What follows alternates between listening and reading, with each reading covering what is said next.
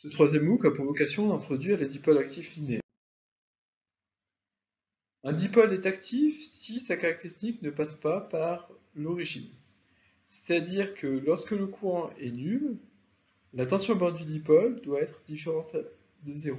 Cette tension, notée E, est aussi appelée tension à vide ou force électromotrice. Elle peut se déduire lorsqu'on trace la caractéristique du dipôle. C'est tout simplement l'ordonnée du point d'intersection entre la caractéristique et l'axe des ordonnées. On peut définir également le courant court-circuit, noté ICC, c'est le courant débité lorsque la tension au bord du dipôle est nulle. On a donc F de ICC qui est égal à 0. En pratique, il ne faut évidemment pas atteindre ICC pour ne pas court-circuiter le composant. Le courant ICC correspond à l'abscisse du point d'intersection entre la caractéristique et l'axe des abscisses. L'origine n'est pas un centre de symétrie. La fonction caractéristique n'est donc pas une fonction impaire. Le composant actif est automatiquement polarisé. On peut définir parmi les composants actifs des sources idéales de tension. Ces dernières possèdent ce symbole-ci. On le représente généralement comme un surgénérateur. Sa caractéristique est une droite parallèle à l'axe des abscisses.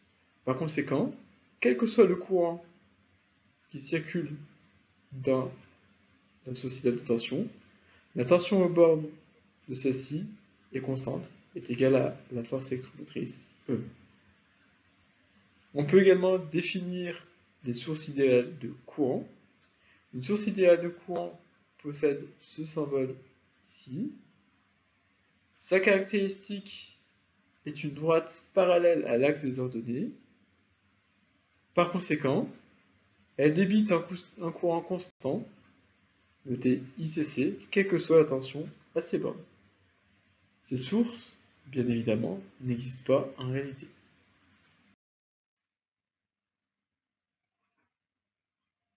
Les dipôles actifs peuvent fournir de l'énergie.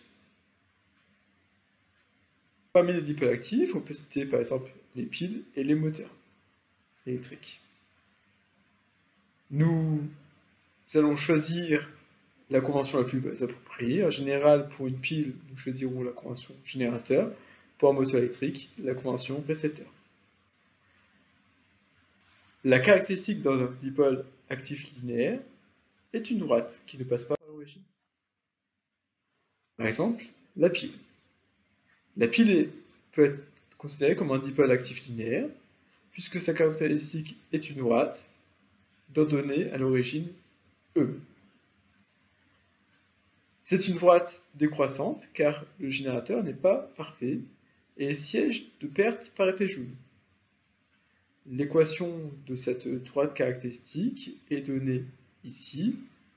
C'est tout simplement une équation de droite. On va avoir U qui est égal à E moins R fois I.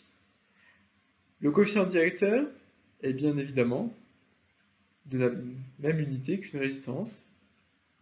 Donc, on va appeler ce coefficient une résistance interne R. R, il est égal à E sur ICC. Une autre manière d'écrire cette relation est d'isoler le courant I. Nous allons voir I qui sera égal à ICC moins U sur R. Et par conséquent, nous allons pouvoir analyser ces deux relations. Ceci va nous conduire au modèle de Thévenin. Le modèle de Thévenin, si on reprend la relation U égale E moins RI, permet de remplacer par exemple la pile par une source idéale de tension qui délivre une tension E en série avec une résistance R. C'est en effet, si nous appliquons finalement la loi des mailles là-dessus, nous avons alors U qui sera égal à E moins la tension bande à résistance qui est égale à R fois I.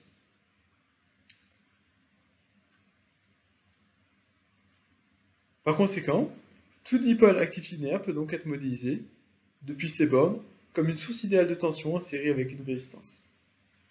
Je rappelle que E, c'est la tension à vide. Elle est déterminée en ouvrant le circuit entre les points A et B, c'est-à-dire en notant les charges qui sont connectées aux bornes de AB. On va alors mesurer la tension à vide. R, c'est la résistance apparente du dipôle. Elle est obtenue en calculant les résistances entre les points A et B lorsque les sources de tension sont court-circuitées, remplacées par des fils. Les générateurs de courant sont ouverts. Si on regarde de plus près la deuxième relation, on a I qui est égal à ICC moins U sur R. Donc tout se passe comme si la pile pouvait être remplacée par une source idéale de courant en parallèle à une résistance R. En effet, dans cette résistance, nous allons avoir un courant U sur R qui va être établi. Si le courant va vers le haut, on va devoir mettre un signe moins, ce sera moins U sur R. Et par conséquent, si on applique la loi des nœuds, on aura bien I qui sera égal à ICC moins U sur R. Ceci donne le modèle de Norton. Le modèle de Norton stipule que tout dipôle actif linéaire peut donc être modélisé depuis ses bornes comme une source idéale de courant parallèle à une résistance R. ICC, bien sûr, le courant court-circuit. Il est déterminé en court-circuitant la charge, donc on branche un fil entre A et B, et on regarde le courant qui circule entre A et B. Et R, c'est la résistance apparente du dipôle. Elle est toujours obtenue, comme pour le modèle ténant, en calculant la résistance équivalente entre les points A et B, lorsque les sources de tension sont court-circuitées et les générateurs sont remplacés par des circuits Nous avons donc une équivalence entre le modèle de Norton et le modèle de Thevenin. En effet, ces deux modèles peuvent représenter le même composant. Cependant, ils doivent respecter une relation simple. En effet, pour que ces deux modèles soient équivalents, nous devons avoir E qui est égal à R fois ICC. Ceci représente l'équivalence Thévenin-Norton. Cette équivalence Thévenin-Norton présente un intérêt pour résoudre certains problèmes simples.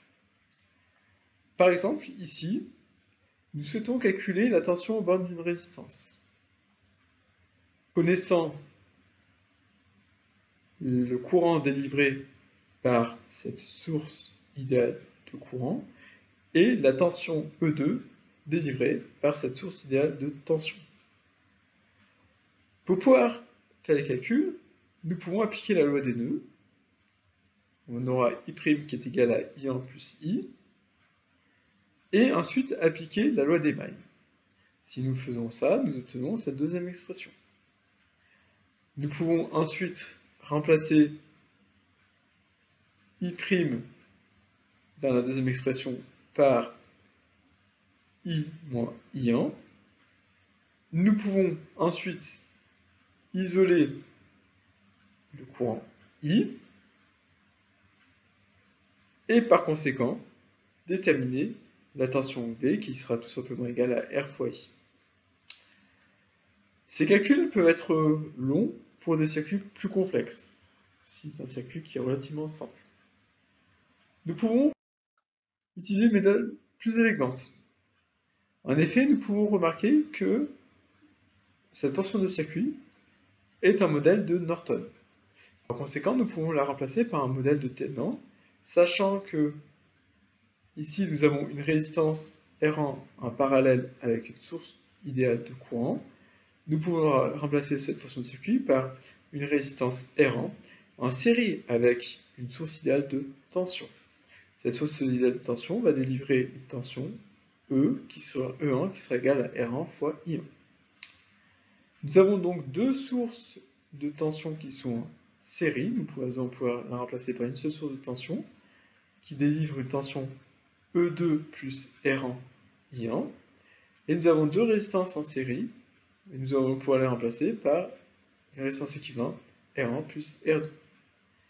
Par conséquent, nous pouvons ensuite appliquer, nous avons simplifié le circuit, nous pouvons appliquer tout simplement le point de tension, de manière à calculer V, puisque nous avons une tension qui est connue et qui est appliquée au bornes de deux résistances en série. Nous souhaitons tout simplement connaître la tension au bornes d'une seule résistance. Nous obtenons la même expression que précédemment. On peut aussi définir l'équivalence entre le modèle euh, et le modèle Norton pour des récepteurs. Dans ce cas, nous avons une droite qui ne passe pas par l'origine, mais qui est croissante. Ceci modifie légèrement les expressions. Nous avons I qui sera égal à moins ICC plus U sur R. Pour le modèle équivalent Norton, et pour le modèle équivalent Thévenin, nous allons avoir U qui est égal à E plus RI. L'équivalence est toujours donnée par E qui est égal à R fois ICC. Alors, l'association d'un euh, générateur euh, linéaire et d'un récepteur linéaire permet de définir ce qu'on appelle un point de fonctionnement. En effet, le générateur va présenter une droite caractéristique qui sera décroissante, le récepteur une droite caractéristique qui sera croissante. Et lorsqu'on va associer ces deux dipôles, on va fixer la tension aux bornes de ces dipôles et le courant qui circule dans le circuit. Ceci s'appelle le point de fonctionnement. C'est le couple, tout simplement, UP-IP entre le courant et la tension qui sont établis dans le circuit. On peut définir ce couple pas une méthode graphique, c'est tout simplement le point d'intersection de nos deux droites. Mais on peut également obtenir ce couple tout simplement en résorbant un système d'équations à deux inconnus. On a UP qui est égal à E R fois RR plus IP pour le récepteur. UP qui est égal à EG plus E moins RG IP pour le générateur. Il suffit alors de déterminer UP et IP. Ceci permet de calculer le point de fonctionnement d'un circuit. Le prochain MOOC sera consacré au régime périodique.